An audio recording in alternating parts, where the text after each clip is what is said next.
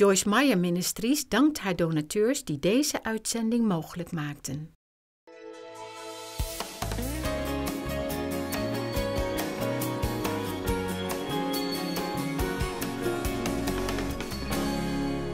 Romans 12, verse 4.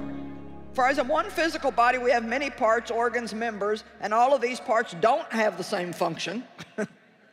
so we, numerous as we are, are one body in Christ the Messiah, and individually we are parts one of another, mutually dependent on one another.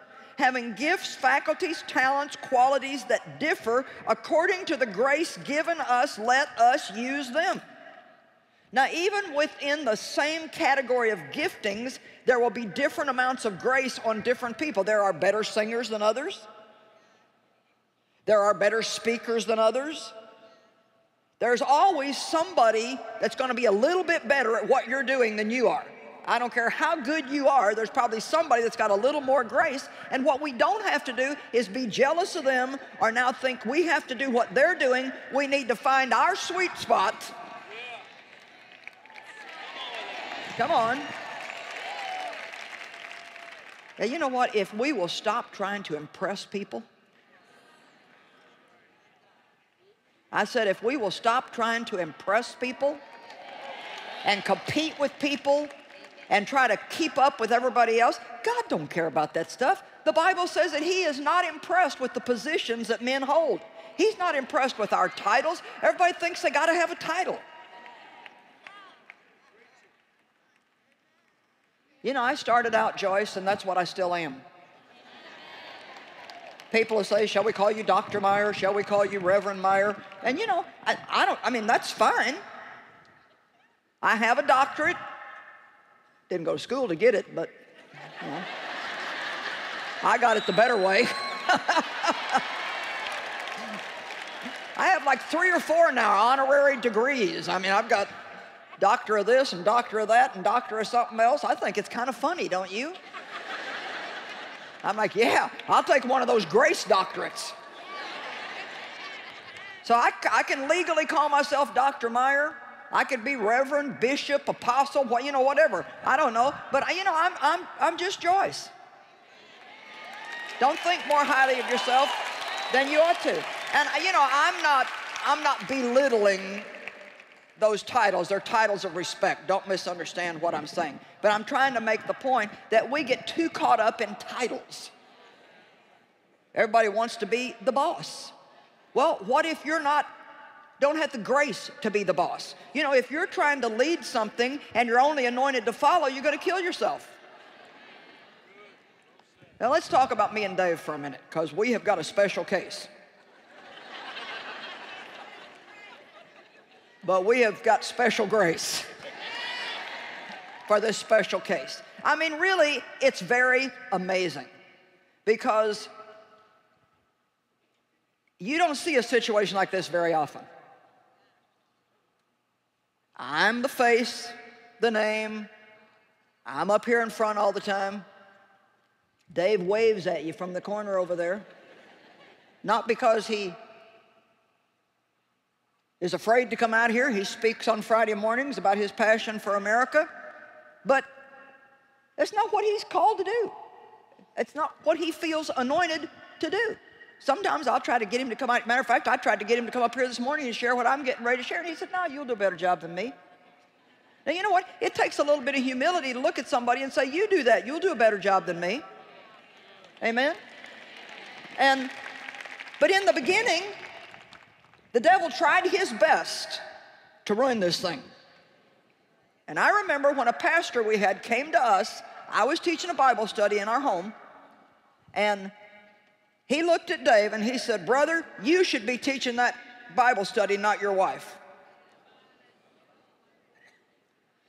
So we went home and tried it.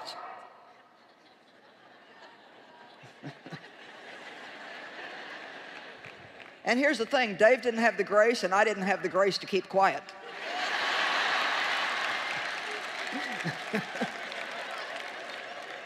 I know that's hard for you to believe, but that's the way it was.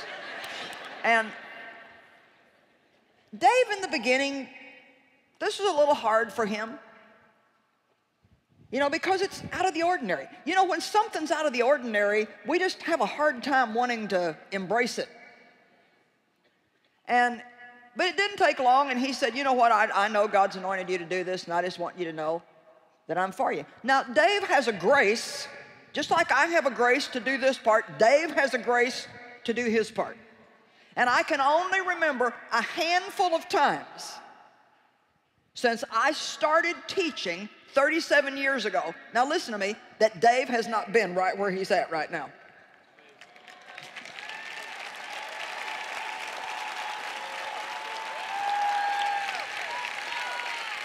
And, and I tell him, I, I don't know how you can stand it because I would not have the grace to do that. I would be like, oh my God, not the same story again. I've heard this a thousand times. Can you please come up with something new to say? But, but see, he's not like that at all. He think, I tell the same thing and he laughs every time. He thinks, and he said, he, he told me that, he said, it's not hard for me. He said, I really am interested. I really do think it's funny. He said, I sit there and I can sense what the people are getting out of this. So, what Dave has done is he doesn't submit to me, he submits to the gift that God has put in me, and I submit to him as my husband.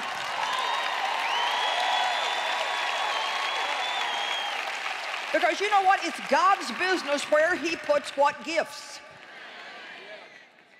And how many more beautiful situations could we have in the world? Not necessarily one like this, but how many more beautiful situations could we have in the world if everybody would just find their sweet spot and stop trying to compete with other people? I mean, we have travel, we have people that travel with us that clean up. We have people that come and put all these wires around. I've got an administrative assistant. Mike Shepard, who's been helping me up here in the pulpit, he's been a pastor for 25, 30 years, and he could go and preach all over the place, but he has a gift. He says, My gift is to be number one at being number two. Isn't that great? And that's awesome. He's not in, he, he, if I want him to get up here and say something, I will. If I ask him to go back there and sweep the floor, he'd be happy to do that. Dave needed to get to the airport Monday morning, has to leave real early, and so we asked Mike if he'd come at 6.15 in the morning and pick Dave up. Oh, yeah, no problem, I'll be there. I'll tell you what, people like that are so valuable. And then there's other people who devalue themselves because, well, I'm just a stay-at-home mom. I just clean homes for people. I'm only, no, you are a child of God, and as long as you're doing the part that God has given you to do, you are very valuable.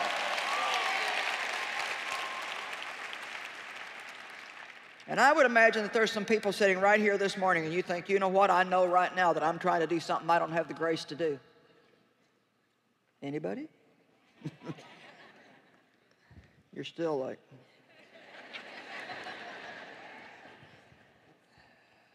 Verse 7 He whose gift is practical service, let him give himself to serving. He who, he who teaches to his teaching. And on and on and on it goes. We need to recognize the seasons in our life. Sometimes we're anointed for something, and then there may come a time when God will say, Now get out of the way and give that to somebody else. That's not very comfortable, is it?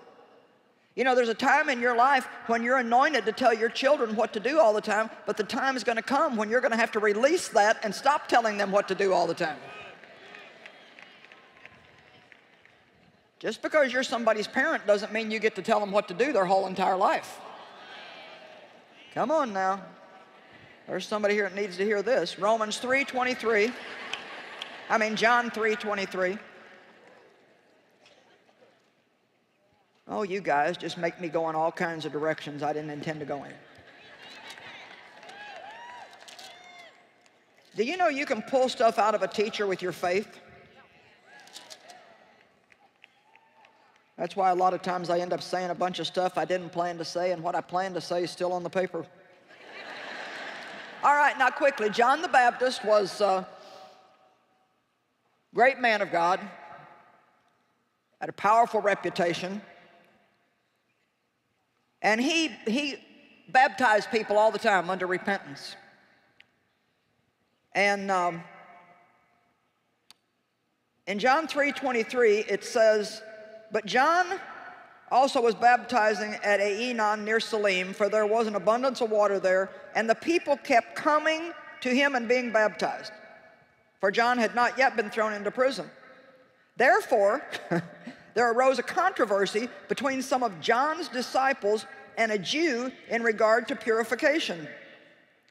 And he came to John and reported to him, Rabbi, the man who was with you on the other side of the Jordan, the one to whom you have borne testimony, now he is baptizing and everybody's flocking to him. So now he's talking about Jesus. He's like, Look, buddy, you're about to lose your crowd. you, you got a little competition over here on the other side of town. You think this nonsense don't go on among preachers? Sure it does. Well, how big was your meeting? Well, how many did you have? Who did you have? You know, several years ago, God commanded me to stop counting things.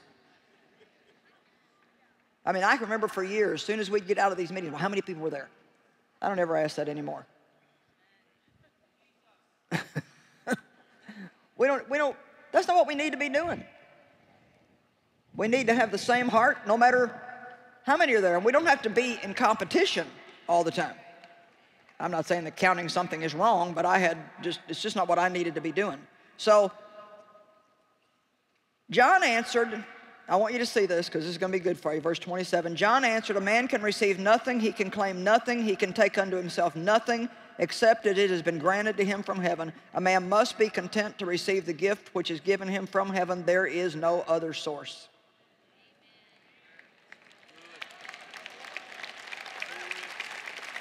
Now, can I tell you something? I, am a really good Bible teacher and I am a good leader, but I would make a lousy pastor. You say, well, I kind of feel like you're my pastor. Well, you know what? I may be your teacher, but you wouldn't want me for counseling.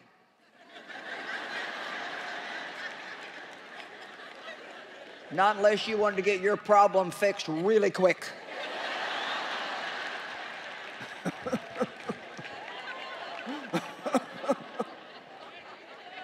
But here's the funny thing do you know when I first started in ministry, I counseled people all the time and loved it.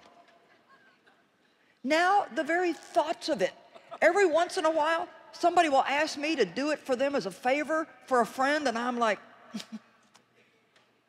you're just gonna be better off if you get somebody else. So that grace that I once had to do that, I don't have anymore. And see, it got real quiet when I said I'd make a lousy pastor. Well, we need to be able to say what we are not good at and what we are good at. There's no shame in saying I'm not good at that. Everybody wants to think they're a great leader, but not everybody is a great leader. Not everybody is a great organizer. Not everybody is a great motivator of people. We need to find our sweet spot and stay in it. Some can be leaders of five, some 10, some 50, some 100. Some can lead a local church, some can go to a state, some to a nation, some to the world. Not everybody can do the same thing, and we need to stop looking at other people trying to be what they are and finally get into what we have grace for and stay there.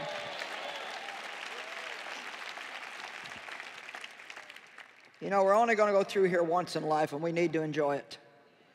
So then, if you go on down here, John actually said about Jesus, He must increase and now I must decrease. Wow. See, I've had to turn things over that I used to do all the time. And it's amazing. You know, I, I look at, they'll take one of my teachings now and change the name of it because they think that what they've got, and I'm like, I never taught that. oh, yeah, you did? I said, Well, I didn't call it that. Well, we thought this would be better. And in the beginning, I'd get my back up a little bit. Well, don't mess with my teaching, you know. Well, why have a marketing department if you're not going to let them market?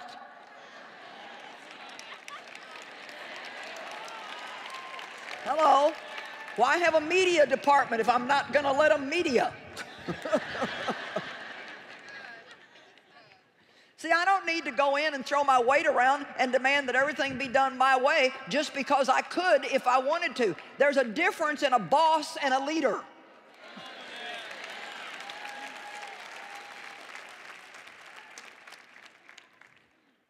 And a lot of people don't really want to be leaders, they want to be a boss. There's two ways that you can live. You can live by your own power or by the power of God. Galatians chapter 4, verse 22. For it is written that Abraham had two sons, one by the bondmaid and one by the free woman.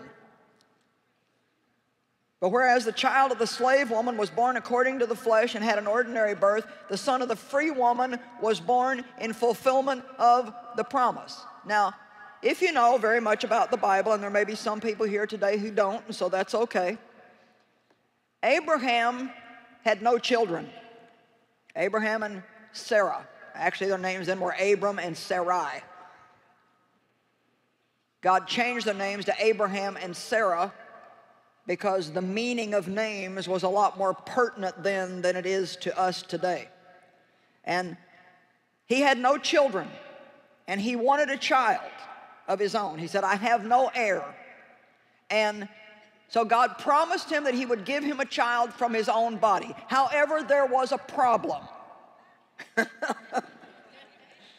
Abraham was somewhere around 100 and Sarah was about 90. And just to be very plain, she had had the change of life and he was impotent. no natural way that they could get a baby. and God said, You will have a child of your own flesh. Well, many years went by and it didn't happen. And this is where we have problems, isn't it? God gives us a promise, a promise, and then a lot of years go by and nothing happens. So we come up with our own plan. I know how God must want to do this. I wish I had time to take you all these places. You can look in Genesis 15 and, and Gen- matter of fact, let's just go there for a second. I've got time. Genesis 15, 1. After these things, the word of the Lord came to Abram in a vision, saying, Fear not, Abram, I am your shield, your abundant compensation, and your reward shall be exceedingly great. And Abram said, Lord God, what can you give me since I'm going from this world childless? And he who shall be the owner and the heir of my house is this servant Eliezer of Damascus. And Abram continued, Look, you've given me no child, and, and a servant born in my house is going to be my heir. And behold, the word of the Lord came to him, saying, This man shall not be your heir, but he who shall come from your own body shall be your heir.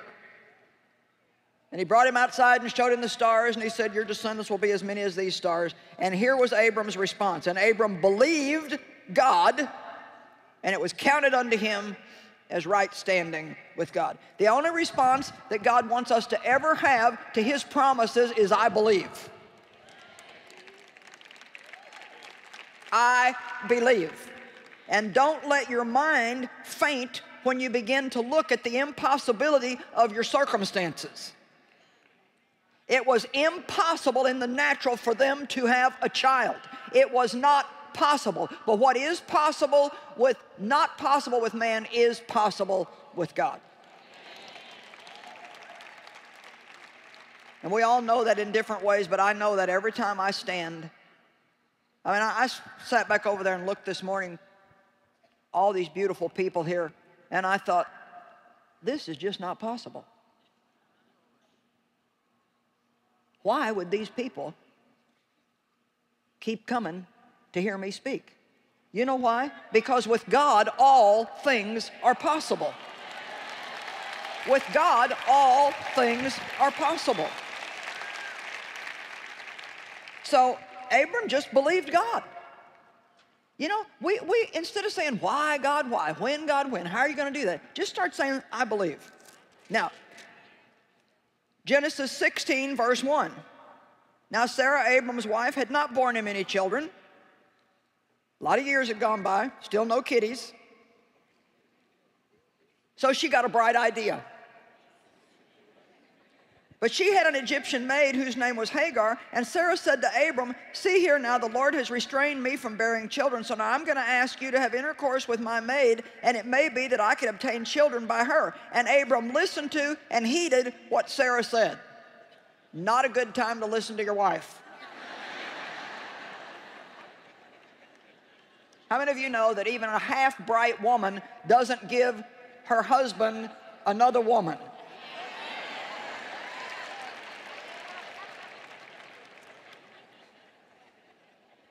So, I mean, this is just such a cool story if you read it all. So, you know, he took her and she got pregnant and she had a baby, and then she started mocking Sarah. Ha ha, I'm pregnant and you're not. Or however that went. Verse 4 And so he had intercourse with Hagar, and she became pregnant. And when she saw that she was with child, she looked with contempt upon her mistress and despised her. Then Sarah said to Abram, and I love this May the responsibility for my wrong or the deprivation of my rights be upon you. Come on, have you ever made a mess? Have you ever get into works of the flesh, made a big mess, and then blame it on somebody else? Long story short, she gave birth to Ishmael. His name meant man of war. Come on, we got a fast track here. When you get into your own works, it's always going to be war, war, war, war. but ultimately, God did fulfill his promise. I think it probably took longer, maybe, than it would have if they would have just stayed away from Ishmael. And she gave birth into the child of promise.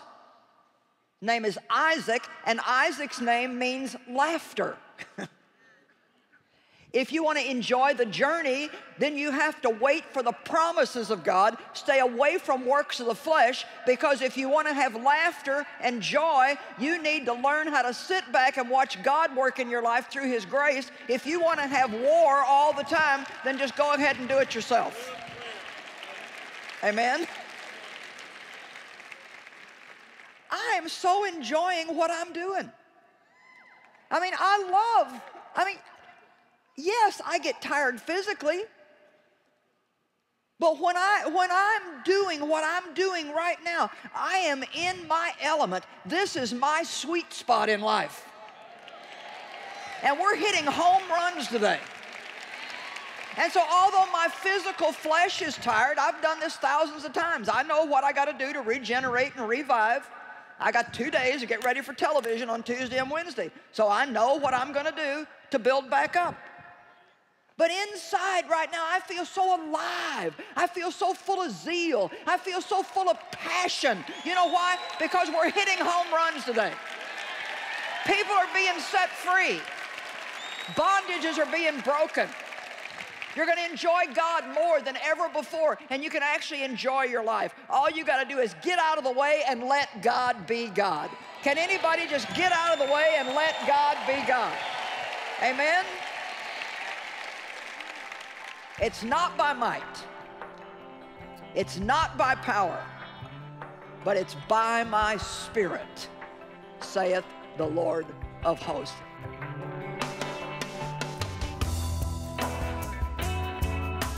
Well, there's two ways that we can live. We can live by our own power or by the power of God. You know, the choice is really ours. God is standing by waiting to help us. All we need to do is ask. You know, God has made His grace available to us. His grace is powerful. It enables us, it helps us, it forgives us. And not only do we have grace available, we have grace, grace, and more grace available. So often in the church world, we hear a lot about the grace of God, but I wonder if we really understand how valuable and how amazing grace is, and how much of it there is for us that we probably never tap into. Let's don't just talk about grace. Let's really learn what it is and make sure that we access it in every area of our life.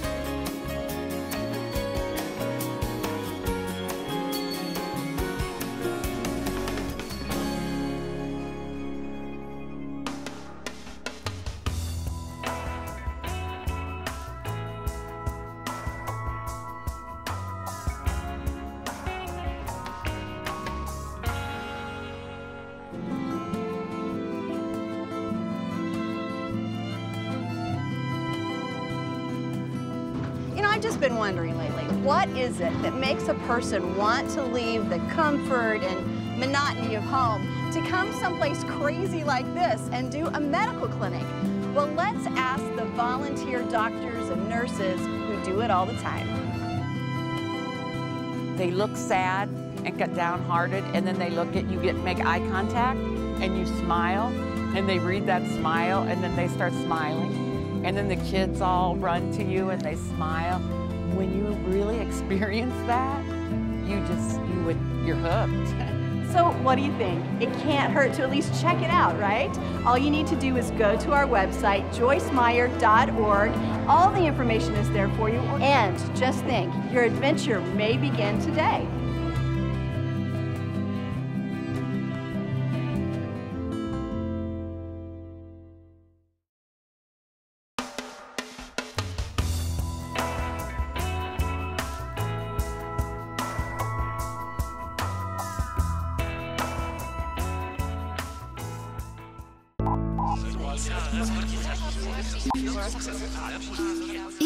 Worden we door vele stemmen, gedachten en meningen overspoeld. Hoe kunnen we erachter komen wat God ons door bepaalde levensvragen en dagelijkse uitdagingen zeggen wil? Joyce Meyer legt in dit boek uit op welke verschillende manieren God met je kan communiceren. Bestel nu hoe je Gods stem kunt horen, telefonisch op 026 20 22 100 of bezoek onze website joyce-meyer.nl. Ga ook eens naar de Facebookpagina van Joyce Meyer Nederland. Like deze pagina en ontvang elke dag inspirerende uitspraken van Joyce op jouw Facebook. Open, direct en to the point. Kleine oases in je dagelijks leven. Lees mee, het is het waard. Alleen bij Joyce Meyer Nederland op Facebook.